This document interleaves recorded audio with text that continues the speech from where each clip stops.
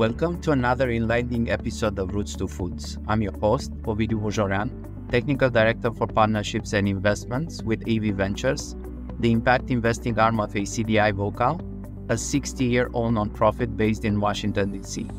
Today, we step into the revolutionary realm of precision agriculture, a cutting edge approach that is reshaping the landscape of farming and agribusiness. As we navigate through the fields of technology, data analytics, and sustainable practices, we are privileged to have with us executives, experts, and entrepreneurs who have been instrumental in shaping the landscape of precision agriculture. Joining us is Paul Schickler. Paul was president of DuPont Pioneer, now Corteva AgriScience, the advanced seed genetics business of DuPont.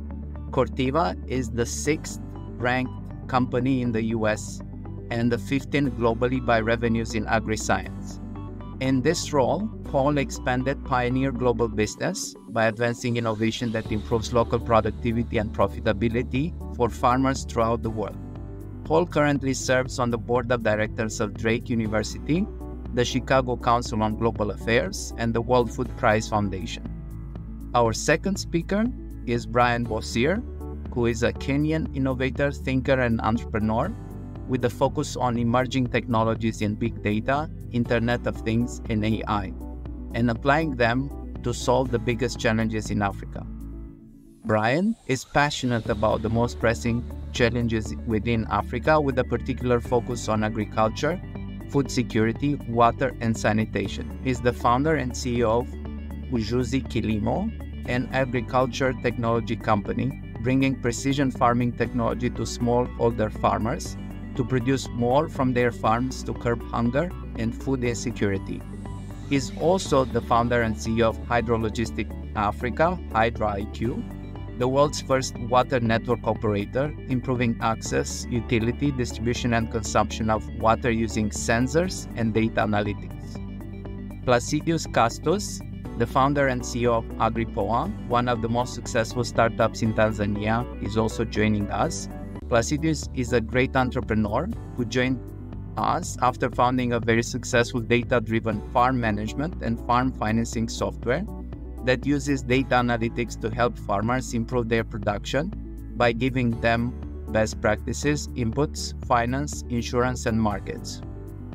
Placidius' aim is to digitize African agriculture by making sure that AgriPoa becomes the bridge in the agriculture value chains and helps farmers earn more money, saves food for their families, and improves their living standards. Thank you for joining. We really appreciate your time. Last and certainly not least, we are honored to have with us Ed Sarber, who is the CEO of EDT US. EDT's precision pollination as a service brings pure, clean, viable, and high quality pollen directly to your orchard and applies it precisely at the right time to increase and secure a bountiful yield in your orchards. Join us on this discussion as we explore the power of AgTech to solve the planet's most pressing problems. This episode, we bring you a unique opportunity, an intimate conversation between Africa's leading and emerging agri-tech entrepreneurs and a global leader in agriculture, Paul, who led one of the United States' largest agriculture inputs companies for 10 years. I would like to start with Paul. If you can provide us a brief overview of your work and your involvement in precision farming in initiatives in Africa and beyond from your vast experience, where do you see the field is now and where do you see the field going in the coming years? Thank both Africa as well as globally, it's still emerging and developing. There's still a lot to be accomplished. But specifically for Africa, Africa, you know, a little background here. The organization I was with, Pod Pioneer, now Corteva, has done business in Africa for more than 30 years. So a lot of investment and a lot of knowledge, you might say, on the ground. And then when I was leading international operations, we acquired the business uh, Pannar, which was also a leading plant genetics company headquartered in South Africa, but operations extensively throughout primarily East and Central Africa. So it really broadened the footprint of, of Pioneer's activity. So what we were doing and continue to do in Africa is provide access to farmers for inputs. And that's all the way from seed and crop protection chemicals, as well as financing. So providing that access and then providing the management advice so that those inputs can be used effectively so that productivity can be maximized. And so, you know, that at a very, very, very basic level is precision agriculture, using inputs wisely to get the best outcome and managing those inputs efficiently to minimize your costs and have the least negative impacts on the environment. So that's the basics, but there's a tremendous amount yet to do. And what I would say is that, you know, particularly for Africa, you know, I think the opportunity for precision agriculture is even greater because you've got more soil variability, more fragile soil, certainly concerns about water access, probably as we look into the future, climate change is going to affect Africa more than other geographies. And because of the nature of farming in, in Africa, I think it's more important to make sure that the effective use is made of the precious inputs that are in Africa. And so bottom line is what what the opportunity is is using precision agriculture to manage inputs and get the best output while protecting the environment really enables farmers to move from subsistence farming into farming for a livelihood so that they can make an appropriate income off of the land that they farm. Wonderful points, Paul, and thank you for bridging the subject of precision agriculture also with climate change. I would like to go now to Brian. Besides founding of Ujuzi Kilimo, he also founded Hydrologistics Africa. And I think it would be really great, Brian, if you could share with us some of the primary reasons that you think make precision farming crucial for African agriculture. And how do you see this has evolved in the recent years? Thank you, Vidya. And it's a pleasure to be part of this conversation. Just to pick up from what Paul has mentioned about the context of the African uh, agriculture, it's generally it's led by smallholder farmers, and as we understand, probably about more than seventy percent of the people involved in agriculture are smallholder farmers. And this kind of uh, farmers are faced with quite a number of challenges that they have to overcome to actually make agriculture more sustainable and a source of livelihood. Just to highlight some of the challenges that these farmers are facing, number one is uh, the effects of climate change. African agriculture is rain fed, and any disruption in terms of the patterns or the weather patterns that the farmers rely on to sort of produce foods affects them enormously. And this is where an opportunity, for example, for use of uh, more precise kind of data to inform these farmers on how to effectively become resilient of the changing climate and the changing weather patterns uh, presents itself as a big opportunity to actually help these smallholder farmers. The other aspect is about the African soils. So generally at the moment about 60% of the african soils are actually degraded because of the continuous poor practices in terms of soil management over time. And this drives down to how farmers, for example, apply fertilizer, how they apply nutrients to the soil, and how they manage the soil effectively as they continuously produce from the same land. So I'll probably put in a context of what I do with Ujuzi Kilimo. So we're trying to address the challenge of, of uh, soil degradation but at the same time looking at the climate change aspect. So we've developed products that we call Soil Pal that is able to read the soil parameters in real time and provide farmers with actionable information on how to optimize input use for uh, at the farm level. That it includes fertilizers, the organic options that they might uh, have at hand, uh, but at the same time also giving this data to the markets, especially the input providers, to ensure that farmers have access to these inputs in order to optimize productivity for the small pieces of land that they own. More and more, we are seeing that most of these smallholder farmers also need to take up irrigation, for example, and more so precise irrigation, which means that there has to be means a means through which farmers can able to get real-time data of what actually the parameters are on the ground, soil moisture, for example, but at the same time layer that to the weather forecast so that they are able to optimize the water use at their farms. That's true. Great. Thank you for your points, Brian. I would like to return to Paul. After retiring from DuPont Pioneer, you mentioned your dedication to advancing innovation and global agriculture.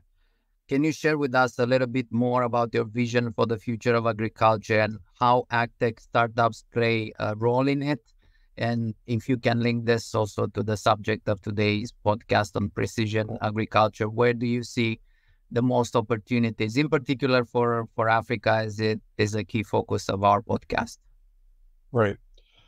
As I look to the vision, uh, particularly for startups, I think it is very exciting because there's a lot of it of technology that needs to be brought to agriculture. And in fact, a lot of technology that has been used in other industries like fintech or medtech can move themselves directly into agriculture with a little more investment, broad applications. So I think the room for startup technology is just fabulous in agriculture for those reasons. And how it applies itself is, I, I think, interesting because, you know, for the most part, over the last 50 years, the world in general has addressed the challenges for food security.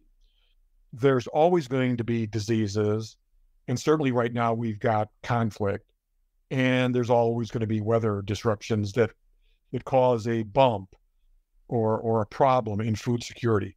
But for the most part, we have proven over the last 50 years that we can produce enough food for the population and the future population because of the productivity that we have delivered. So I think the next opportunity is to move from, we can't take our eyes off of food security first, but we can move from that being our primary focus to instead a couple of more things. Number one, improving the nutrition.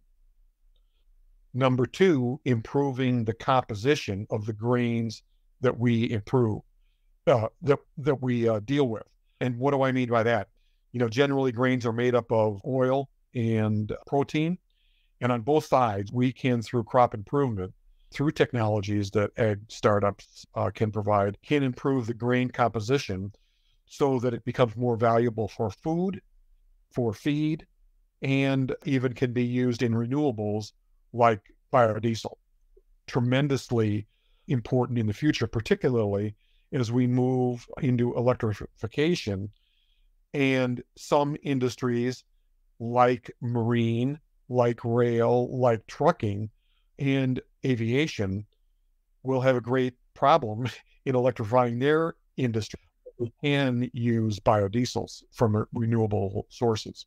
If we improve nutrition, if we in, improve composition of grain, if we improve our footprint for the environment so that it's less of an impact on climate change. We can get paid for that. Farmers can get paid for that. And I think that that is a better road to the future to get paid for the value that a farmer is producing as compared to solely be dependent on the volume or on the commodity. If we can do that, and clearly I think ag startups can do all of those things improve the nutrition, the composition, and lessen the climate impact of agriculture. If we can do all those things, then the farmer can get paid increased value for the contributions that farmers are are making.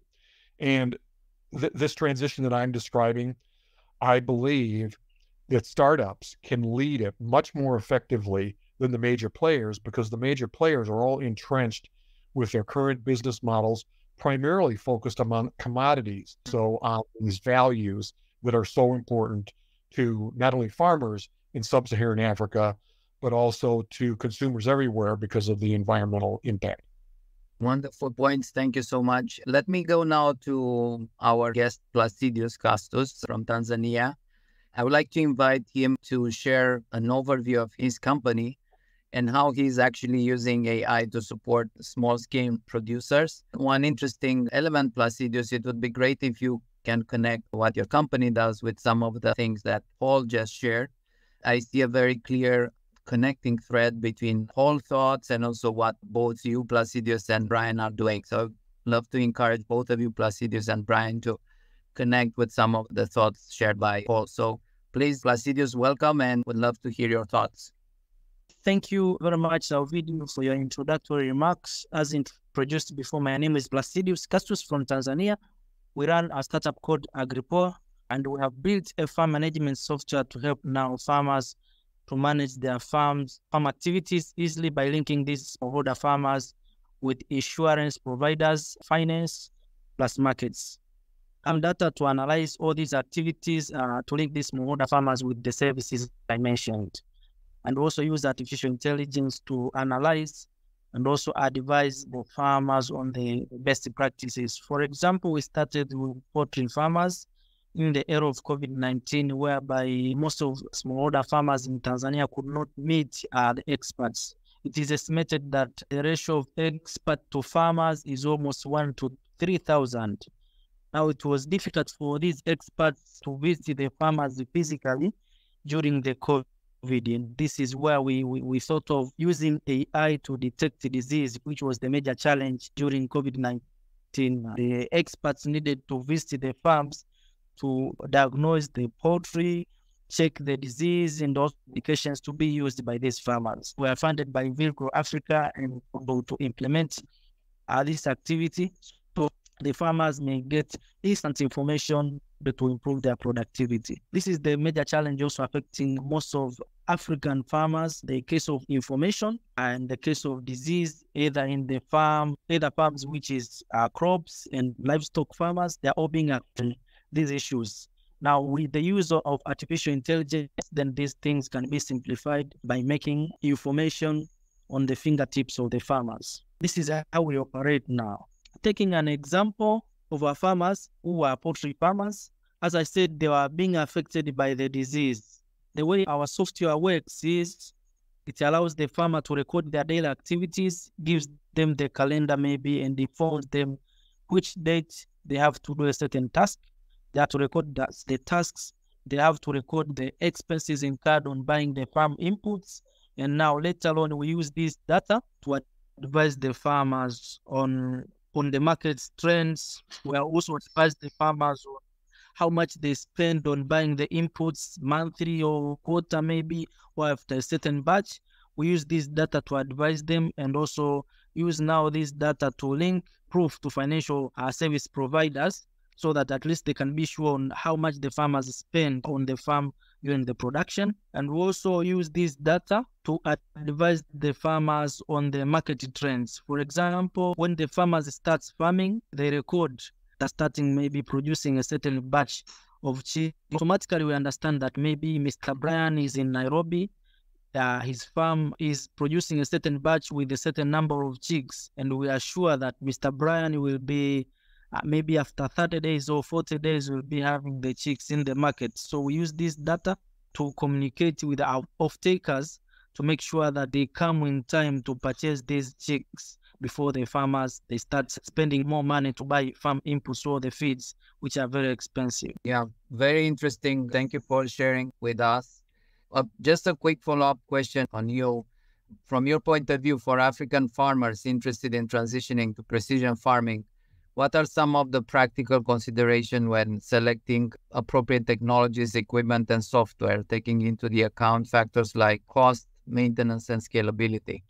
I think, as Brian said, most of smallholder farmers in Africa, it's almost 70% are smallholder farmers, and most of them are women. And for these people, technology is still new, actually, to be honest, in Africa. And what we have to consider, especially, is language and simplicity, because language is the very big challenge in Africa. You know, we don't have one common language. So, when developing a system or a software, you must be specific in which maybe country you want to launch and you should start with a local language which at least can be an added advantage to pick more, more, more users. Simplicity is also the very important thing because of most of these smallholder farmers are lay people, they are laymen. So They need just simple thing, simple things, and they don't have time to click, go around, run around to do a lot of tasks. So they just need when they click something, they get the result. So if you are developing maybe your software, it must have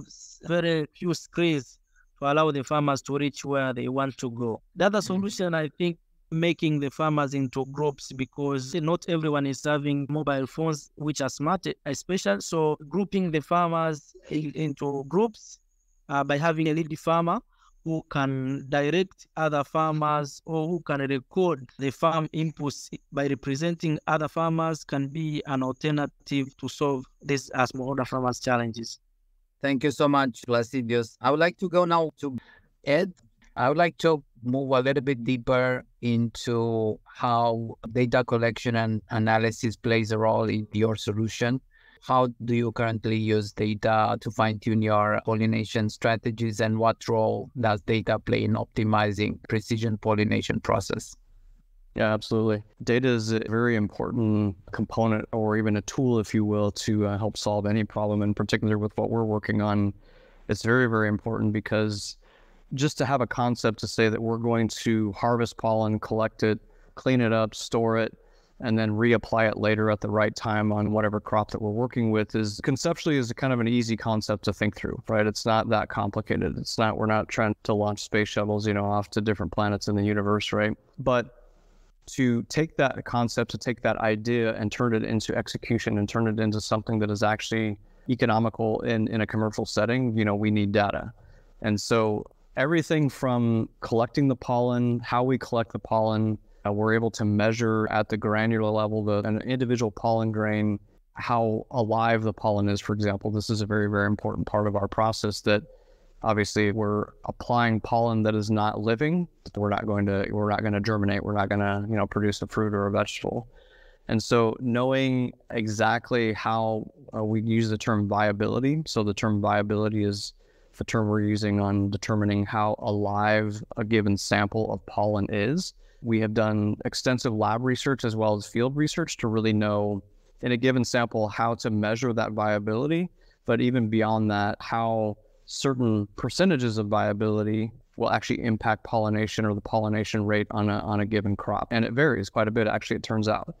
And so collecting that information around the viability of the pollen and maintaining it is very, very critical to our process. For another component of how we're leveraging data, we actually just finished a, a trial on almonds in California where we're looking at different pollen varieties or genetics of pollen to determine if on a given almond tree, a variety of almonds, if we put pollen A on that tree versus pollen B in different amounts, do we impact mm-hmm. the yield, for example?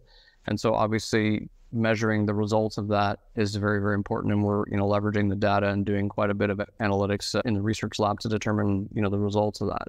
And there's kind of a third one that we're actually working on actively right now, which ties back to the timing of when to pollinate. You know, almost as important as the viability of the pollen is knowing exactly when to pollinate. Mm-hmm. If you're again just blowing, if you had very high viable, beautiful pollen that you're blowing on a tree or, or any particular plant, where it appears the flowers are ready to accept pollen, but they're not actually because if you don't understand, you know, when the flowers are ready, then you're obviously not going to pollinate. And so we are working on a, a project right now. We're taking our lab and our field research at a small scale and to know when the right time to pollinate, let's say a pistachio tree, mm-hmm. and then scaling scaling that up uh, using artificial intelligence technology coupled with satellite imagery. So we can actually look at you know using global satellites right and using some of those high res photos to actually compare what we see on the ground with what we see in these pictures combine that with the knowledge that we have in terms of the right time to pollinate so that we can actually build an algorithm to ideally automate that process so we don't have to have people out in the field looking at these trees to tell us when to pollinate. So this is something that we're very mm-hmm. excited about Thank you so much for the detailed perspectives, for the fascinating insight into precision pollination, a game changer for orchard cultivation. Now let's journey across the globe and shift our focus to East Africa. Ed just gave us an example from the almond sector in the US. emphasizing the critical role of data and maximizing technological advancements. Are there parallels in different corners of the world? To explore this, we're joined by another expert in the field, Brian. If you can explain a little bit about your company, Ujuzi Kilimo, the data driven platform. How is your company helping smallholder farmers in Africa? And what innovative data acquisition technologies are being utilized?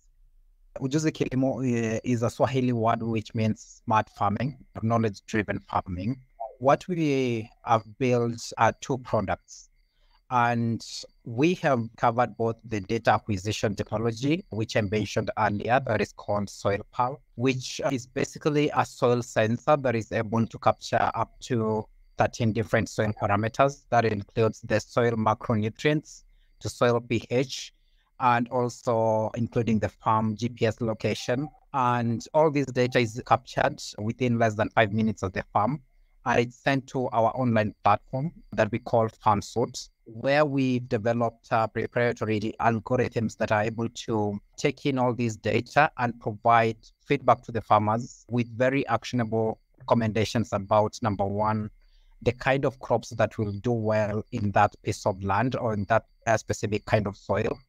Secondly, it also provides the most suitable uh, optimum inputs that you need to apply for a specific kind of crop that you're doing uh, in that region. And thirdly, we use all this data to continuously monitor the farm using satellite imagery to provide continuous agronomic support to these farmers. And this is the information that we deliver uh, using a very simple means that is SMS to the farmers over the crop production cycle. So, as a company, we've been working with farmers for the past seven years now and we are covering more than 20,000 farmers within Kenya and Nigeria at the moment. And our goal is essentially to provide the most precise kind of data that farmers need at any given moment that takes care of uh, number one, the soil, and the, number two, the changing climatic conditions to enable them to become more resilient on how they, they do farming. On top of that, more and more we've realized that data is really key for decision makers along the crop production value chain. That is right from the input manufacturers to the market for traceability purposes. So our platform provides uh, the data analytics capabilities for these input manufacturers, especially fertilizer, so that they are able to actually get this real-time data of the soils and the distribution across different regions so that they are able to actually blend the right inputs like fertilizer for specific regions and continually ensure that farmers have access to these inputs. On the market side, we've been able to also provide this data to various market off-takers and sellers and players in the market, specifically to offer the traceability aspect. And right now, as Paul mentioned, the nutrition and how crops are produced or uh, how food is produced is becoming more and more relevant. And having this data visible and available for the market is really essential. So we are trying to create a platform that works from right from the production side to the market end. Thank you, Brian. One quick follow-up question here. After I would like to invite Paul to share with us some of his reflections on both Placidio's company and also your company, Brian. Farmers in Africa often have limited access to capital and technology. Can you share practical financing models or partnerships that you think have enabled small scale farmers to invest precision farming tools and practices? So the very interesting thing that happens within the farming context in Africa is that most of these farmers being smallholder farmers, grouping them as like I just mentioned is really crucial so most of these farmers are often in cooperatives, and that mm-hmm. coming together really helps in terms of aggregating the in making the services affordable, or what I can call possibly sort of like sharing some of these technologies and tools to ensure that they are able to actually attain their goal of improving productivity. The trend right now among smallholder farmers is that they through the cooperatives they are able to access financing through microfinance institutions And through that, they are able to actually distribute the risk of non payment or affordability for some of these technologies and tools that we're providing to them. The second aspect is really leveraging of, on the technologies such as Internet of Things, which means that you actually are able to monitor and even distribute the payment model to pay per use rather than farmers going to source for capital to pay upfront for an asset or a tool that will enable them achieve uh, precision farming. So the pay as you go or pay per use model, where you are able to actually monitor continuously the usability of a specific precision tool is really important. And it could be a simple sensor that has an upfront capital of maybe $2,000 that is way out of the reach of a single farmer.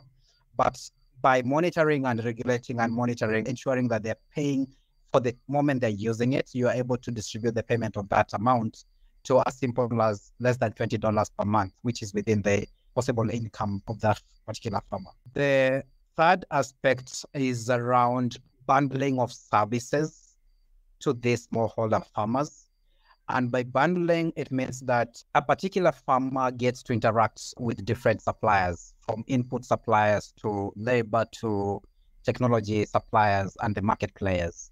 So bundling your technology into all this sort of like creating an ecosystem around what the farmer needs and providing value for each of the players. A good example I just mentioned, like for fertilizer companies, we are able to provide value in terms of data and they're able to pay for that.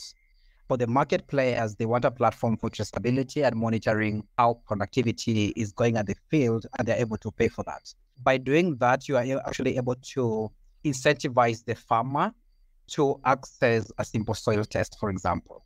These technologies enables us actually to reduce the cost of the cost to the farmer, but at the same time maximizing the value that we are bringing to this farmer and the other actors in the ecosystem. Wonderful.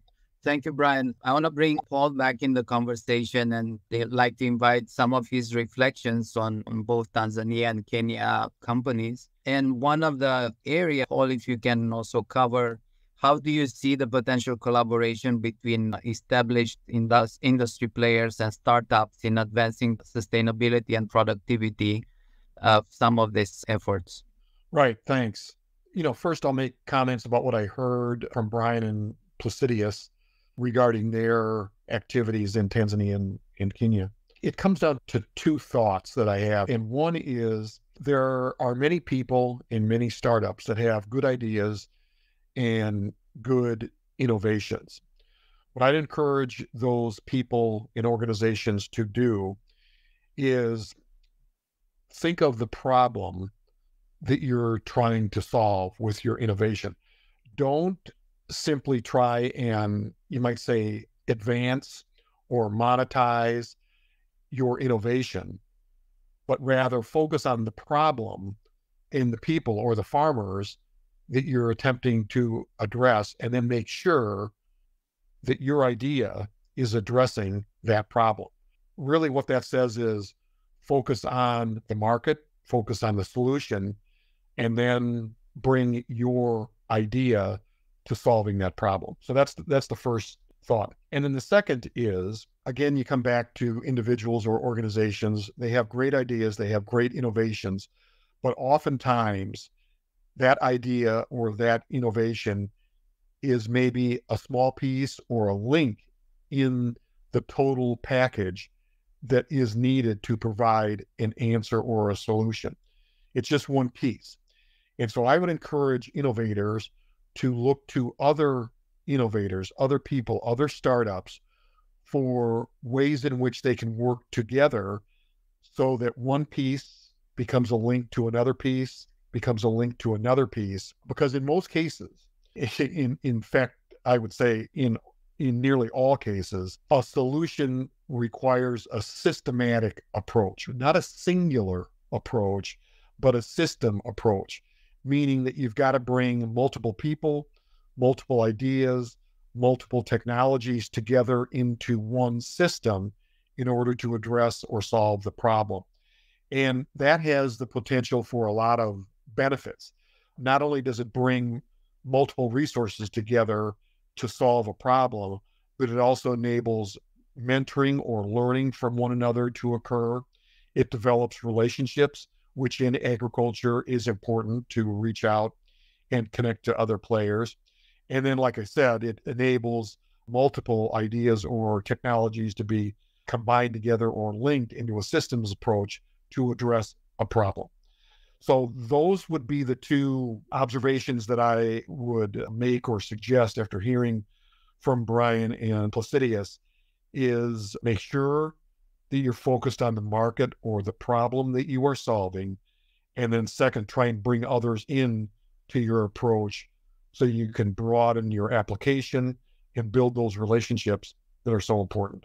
Uh, great points, Paul. And I think this last point about the systems approach is a critical one. My, our organization, ACDI, VOCA, and AV Ventures, we, right. we in everything that we do, we have a systems-based approach. In actually, in one of our future podcasts that will focus on scaling your venture, we do plan to discuss a little bit more about the systems and what are the other components that an entrepreneur needs to access and build so that actually can have a successful development of his technology and innovation. Right. And let me give you an example. Uh, you know, I'm working on, on this one here in the United States right now, but it, this example works anywhere in the world. The startup has an interesting technology that improves the oil content of soybeans.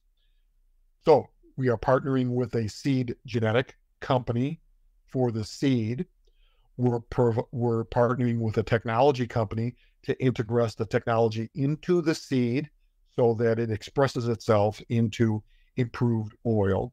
We're working with a seed producer to take that improved seed, produce it in volume, and then create a distribution system so that that seed can be made available to farmers.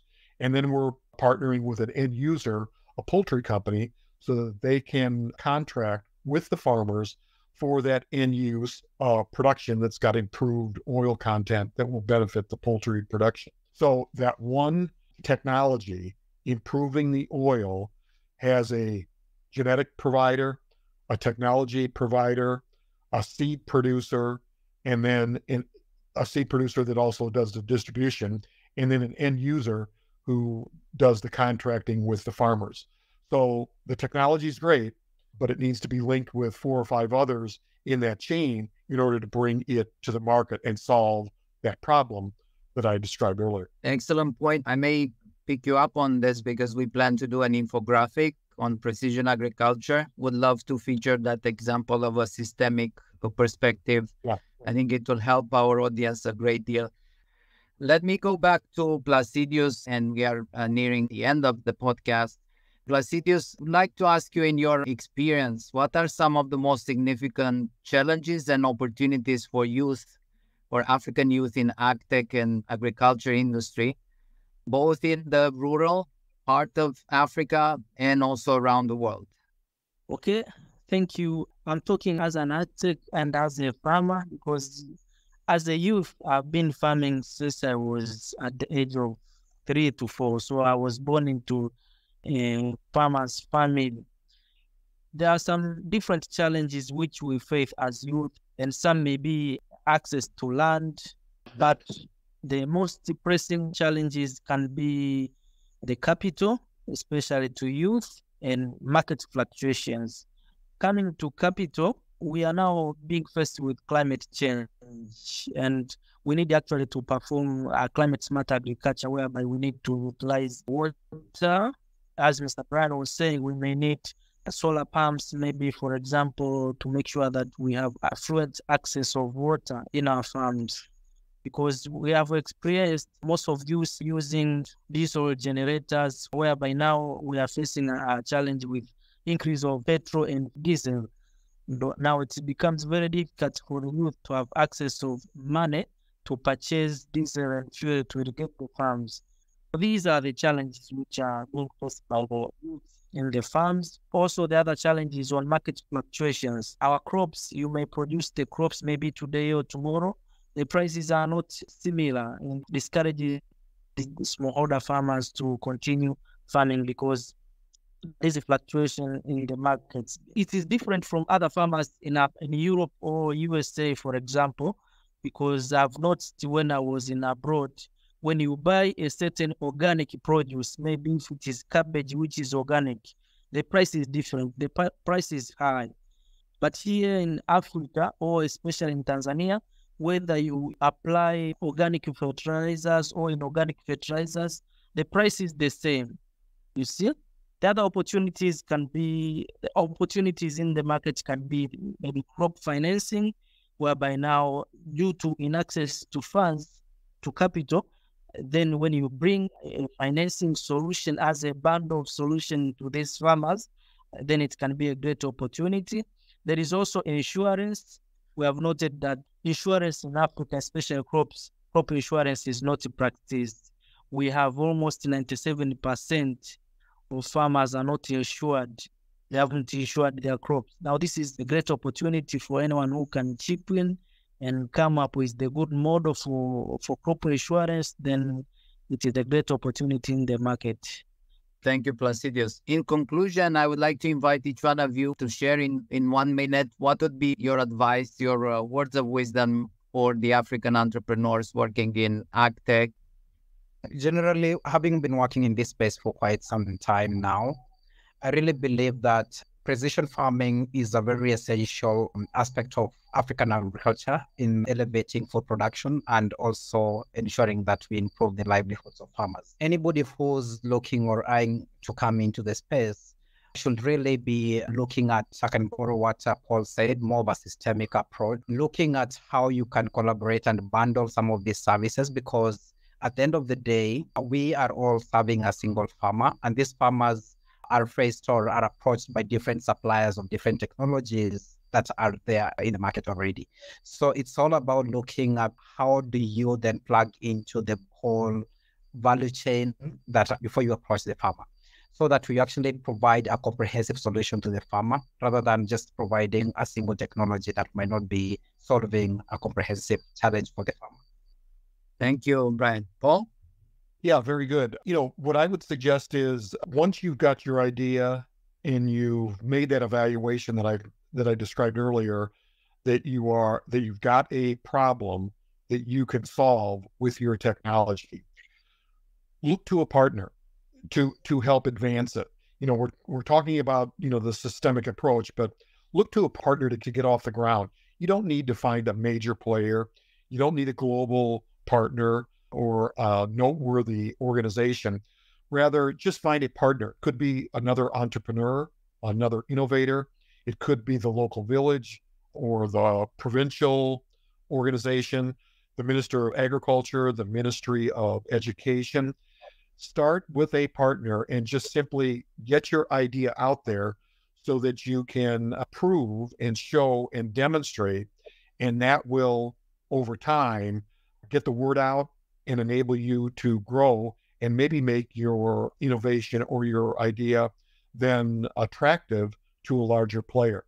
And I should mention, because someone made the comment earlier that co-ops are a great way to get your ideas out. And you know, so again, whether it's a village or or a provincial location, a co-op is a great partner to have to uh, get that collaboration moving forward and demonstrate your success. Thank you, Paul. Placidius? Thank you, Ovidiu. And what I think is the most important thing is collaboration. And when we talk about collaboration, uh, as most previous speakers were talking about collaboration, is about looking onto someone who has mastered providing a solution to these smallholder farmers in a certain area. Then I think when collaborating with this person, it can be a great key achievement because now instead of you to start from scratch, then you can use him as you are moving. So you collaborate together and move together to make a solid solution. Thank you, Placidius. Obviously, this is a very generous subject. It's very comprehensive and it's one that for sure we will see evolving a lot over the next few years. Thank you for joining us on this enlightening journey through precision agriculture on the Roots to Foods podcast. We hope you found the interviews with our guests as captivating as we did. If the future of sustainable agriculture excites you as much as it does us, Don't forget to subscribe to our podcast on your favorite platform and share it with your friends, fellow entrepreneurs in the field of agriculture. Your enthusiasm and engagement means the world to us, and we invite you to help us grow by sharing your thoughts through ratings and reviews. Your support drives our mission to cultivate ideas that plant the seeds of change. Stay connected with us on social media for an ongoing conversation filled with valuable resources, engaging discussions, and opportunities to actively participate in the market transformations we collectively envision.